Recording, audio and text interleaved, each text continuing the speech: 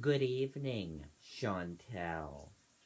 A local man faces charges of driving under the influence and using a mobile electronic device after he rolled his pickup truck on Old Dover Road near Barra Ridge East.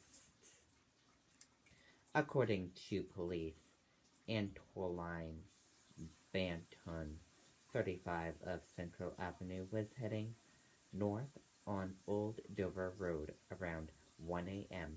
Saturday when he crossed the center line, went off the shoulder, and then pulled back into the northbound lane before rolling over and coming to rest on the side of the road.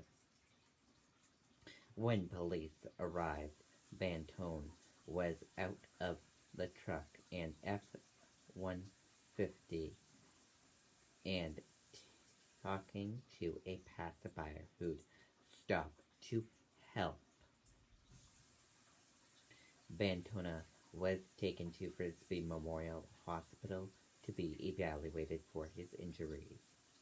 Police closed Old Dover Road near Barra Ridge for a short time after the accident.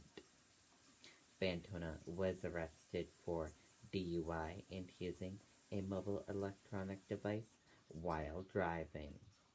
He was released on 1,500 personal recognition bail and is scheduled to be arraigned on December 21 at the 7th Circuit District Court in Rochester.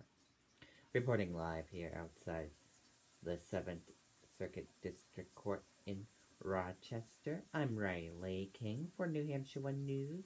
Chantel, back over to you.